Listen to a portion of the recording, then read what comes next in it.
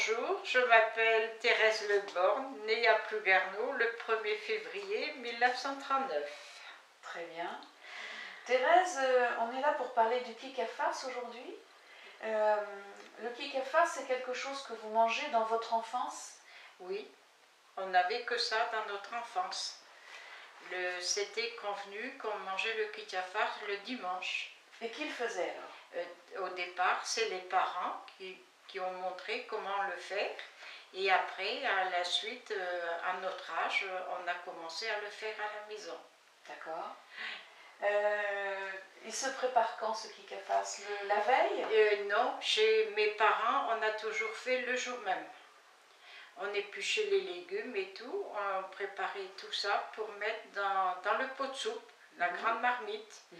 Et après, euh, quand l'eau bout, on met les légumes, on met le, la viande, et après, quand ça repart à bouillir, on, on fait la pâte entre-temps pour euh, faire le, phare. Et après, on, les, on lave les sacs à phare. Euh, et après, on rajoute la pâte dedans. Alors, donnez-nous la recette. Alors, par exemple, une recette pour 6 euh, personnes. Qu'est-ce qu'il faut? Bah, Là, il faut la farine de blé noir. Oui. Et il faut des œufs. Oui. Et de la crème. De la crème. C'est ça le secret? Et du lait. C'est ça le secret pour que ce soit... Euh, euh, un peu de matière grasse aussi. D'accord. Donc vous, vous mettez de la farine de blé noir, de la crème. Combien de crème par rapport à la farine de blé noir? Euh, Suivant la quantité. Oui, mais beaucoup ou peu, qu'est-ce que vous diriez? Moi, je mets bien la crème dans, dans mon phare. Du sel? Du sel pour le phare de blé noir. Et pour le phare blanc? Ben, C'est autre chose c'est du sucre qu'on met et puis là on peut mettre soit la crème ou du beurre. Bien sûr, de, la farine. Hein, de la farine de froment. Farine de froment, du sucre, du beurre ou de la crème. Mhm. Est-ce que vous mettez des œufs pour faire la pâte? ah, Oui, il faut mettre toujours des œufs. Hein. Et dans la farine de blé, noir, aussi? Oui, oui, oui. oui. D'accord. Et la farine, pour le phare blanc, vous mettez du lait en plus Ah oui, du lait. Oui, oui. Il euh, y en a qui font leur pâte de, pour le quitter à farce, le, noir, ils mettent un peu d'eau. Mais moi, je ne mets pas de l'eau, je mets euh, juste de, la crème et du beurre. De la crème, du beurre Le beurre fondu avec un peu de bouillon de, de, cuisson de légumes. D'accord. Qu'est-ce que vous mettez comme légumes?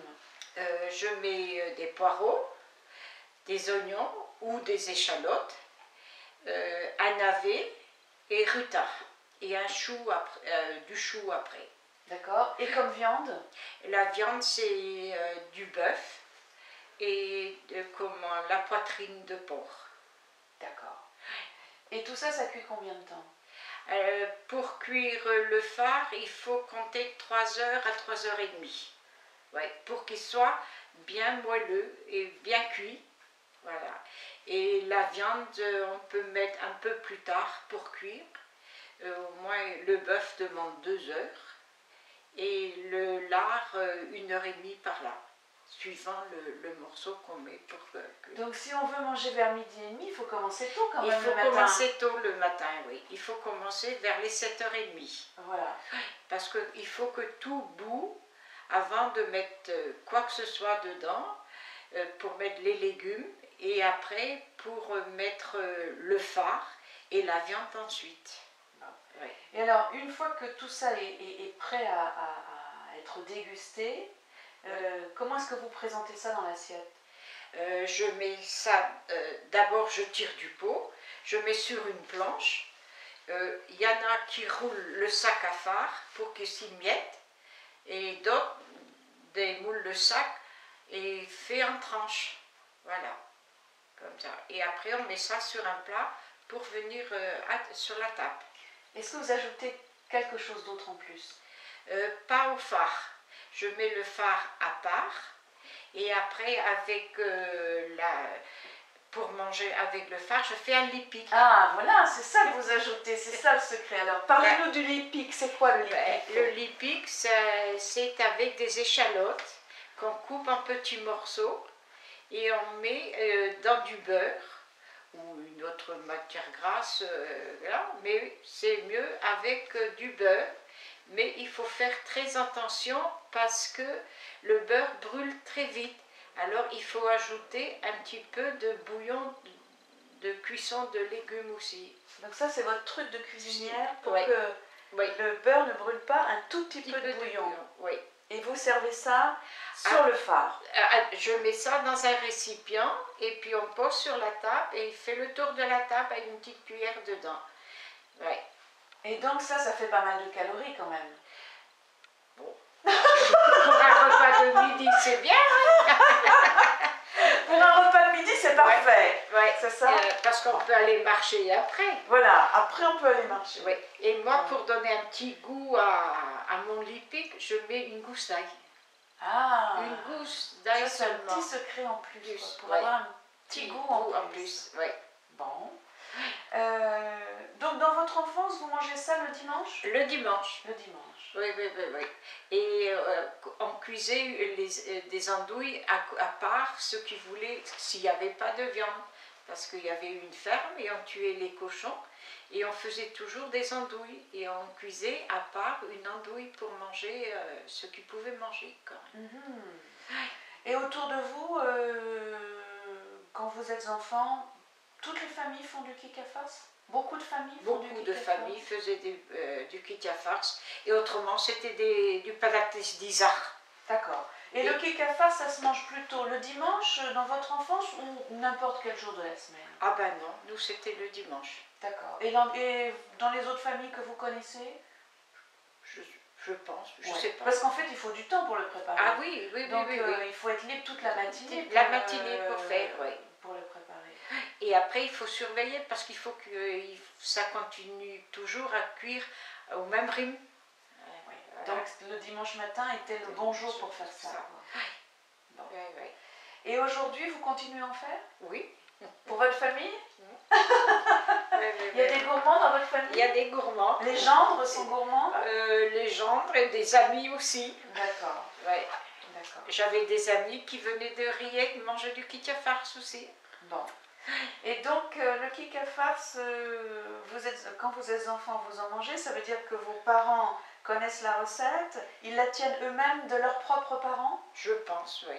Oui, oui, oui, puisque c'est eux qui nous ont donné la recette. Qui est toujours la même dans votre famille Les deux phares, le phare noir, le phare blanc et les deux viandes. Et les deux viande de porc et, viande, de, bœuf. Oui il y en a qui aiment bien le jarret euh, de bœuf, ça donne plus de goût et plus gras. Mhm. Mais autrement, pour avoir la bonne viande, c'est euh, du jumeau, non? Oui, c'est du jumeau que, que c'est tout viandeux quand Et vous avez transmis cette passion du kikafars à vos filles? Oui. Vous faites du kikafars Surtout, Nadine. surtout Nadine quand même. Et Nadine, vous faites la même recette que votre maman? Pas tout à fait. Qu'est-ce que, euh, que, vous avez changé vous? euh, Ce que j'ai changé, c'est que je passe la viande d'abord dans un bouillon avant de l'ajouter à la soupe. Ce qui fait que la soupe est moins grasse. Ah, ah.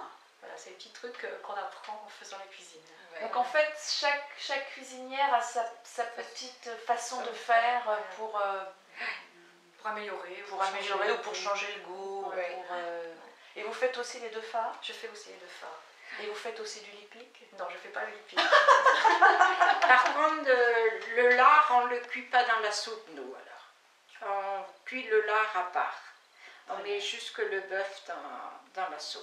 Donc en fait, c'est, on comprend la recette, mais on comprend que chaque famille, chaque maison a, a ses propres trucs. Quoi. On cuit dans, dans, le bouillon, on cuit pas dans le bouillon, on met du lipic, on met pas du lipic. Euh.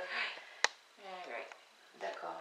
Et qu'est-ce que vous pensez de cette façon de faire qu'ont les restaurants, les restaurants aujourd'hui de faire du, du Vous en avez goûté vous-même, par exemple, au restaurant Oui, oui, oui. Vous le trouvez C'est bien. Acceptable? Oui, très bien. Moins bon que le vôtre? Ah bah ils sont très bons. J'ai mangé, là c'était. Euh, vous avez mangé du bon kika farce Oui, oui, oui. Et vous, Nadine, vous diriez quoi? Je n'ai pas goûté dans les restaurants. Vous préférez manger chez vous Voilà. vous êtes sûr de ce que vous mangez? Exactement. Et comme ça, c'est peut-être pas trop gras aussi. Aussi, oui, parce qu'après, il faut voir comment préparer le plat. Oui. Bon. Très bien. Et vous-même, si, si on vient vous commander du kika farce, vous nous le faites ou pas? Je n'ai jamais fait, mais je pourrais le faire. Je pourrais le faire. Sauf il faudrait me dire à l'avance que je commande ma viande et, les légumes. Bien sûr. Je comprends. Et donc le, le farce, pour revenir au farce, vous le mangez quand même plus l'hiver, vous ne mangez pas de farce l'été, ou c'est un peu exceptionnel, si? Bah, Si quelqu'un le demanderait, on le ferait. Oui, mais c'est quand même plus, un plat d'hiver. Oui, oui, oui, c'est plus un plat d'hiver comme euh, le ragoût oui. Comme ça, c'est un plat d'hiver aussi. D'accord. Et alors, une fois qu'on a mangé ce kika farce, euh, qu'est-ce qu'on mange en dessert? Une glace ou une pomme. Parce qu'on n'a plus de place pour autre chose voilà. quand même. Hein. Oui, oui, oui, Et un café après. voilà, pour faire descendre. Merci. Comme ça, quoi. Sans mesurer. Sans mesurer. Hein, vous ne mesurez pas la farine de blé noir, le blé blanc, vous dites, oui, c'est à peu près ça, vous voyez à l'œil, quoi. Oui. Vous aussi, Nadine Non, moi je pèse. Nadine Vous êtes une puriste. il faut que je pèse. Non, savoir. C'est vrai. Bah, quand il fallait faire pour 80 personnes. Bah, vous avez fait du kick farce pour 80 personnes Oui. Mais à quelle occasion, par exemple? 80 bah, personnes Une fête de famille Non, parce que je travaillais. Ah, racontez-nous ça alors, Thérèse. Vous avez travaillé dans un restaurant? J'ai travaillé dans un restaurant et j'ai travaillé dans une maison de retraite. D'accord. Et dans ces deux endroits, on faisait du kick farce Oui. D'accord. Et c'était vous qui étiez en charge de faire ce Ah ben, on était à deux en cuisine et puis on s'arrangeait pour faire. Alors un kick face pour 80 personnes, on commence quand même la veille ou pas non plus? Non plus. Les légumes sont épluchés la veille, mais pas la, pâte ni quoi que ce soit, c'est fait le jour même. On commence à, 6, à 7 heures et on commence par mettre de l'eau dans les marmites pour euh, cuire. Euh, euh, la viande et pour cuire le phare. Et la pâte à phare, la, pâte à ça ne se fait jamais la veille? J'ai jamais fait. Non, c'est mieux de le faire. Euh, on, a, été habitué comme ça et puis euh, on fait comme ça. 80 personnes. Et alors le pique pour 80 personnes, ah, il, bah faut, oui, bah, il faut être vigilante là, non? Il faut, une fois que tout est mis dans le pot, tout, tout préparé, et ben après, euh, il y a la vaisselle à faire. Et après qu'on a fini la vaisselle, on s'occupe du lipic. Et on met euh, sur le coin du fourneau. Et tout doucement, ça se cuit. On remue de temps en temps. Et puis euh, voilà. Et quand c'est arrivé le moment, on l'approche plus du feu. Et on rajoute, s'il faut, du beurre dedans. Et vous, Nadine, ça vous est arrivé de faire un kick à farce pour 80 personnes? Non, non, non, non, juste pour la famille. Parce que j'imagine que 80 personnes, il ne faut pas, euh, quand le de feu là, il faut y aller. Quand il faut y aller. il faut couper la viande, ah mettre les légumes dans les assiettes, etc. Euh. Ben là, on est à deux, hein, le fait. Je comprends. À l'heure de, de, mettre en place, quoi.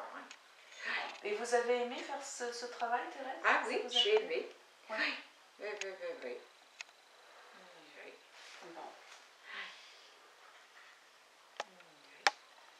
Donc c'est vrai que c'est plus quand même un plat d'hiver le kick hein? Mais maintenant, il y a beaucoup qui le font tout le temps. Hein. Il y en a qui demandent. Ceux qui viennent en été, ils connaissent bien sûr, ça. Bien sûr, ça devient comme une spécialité. Les gens. Qu'est-ce qu'on boit aussi euh, pour accompagner le farce Quand vous êtes enfant, en tous les cas je pense que c'était du lait et puis euh, de l'eau, ou autrement du lait ribot, il y avait aussi. Les parents Vous les vous parents. de ce qu'ils buvaient, vos parents? Non. Je me rappelle. Non. Hmm, de l'eau, du lait ou du lait ribot Ou du lait ribot, oui. oui. Et aujourd'hui, par exemple, quand vous faites le kikafas pour votre famille, qu'est-ce que vos convives boivent? Bah, Ils boivent euh, du jus de fruits ou du vin et puis euh, la limonade. D'accord. Oui, autrement, euh, je vois pas. Euh. Très bien. Le cidre, c'est pas. Non, j'ai jamais servi du cidre avec le farce. Ce serait plutôt pour les crêpes. D'accord. D'accord, merci. Plus heb ik je vast, dat is deze. Deze maat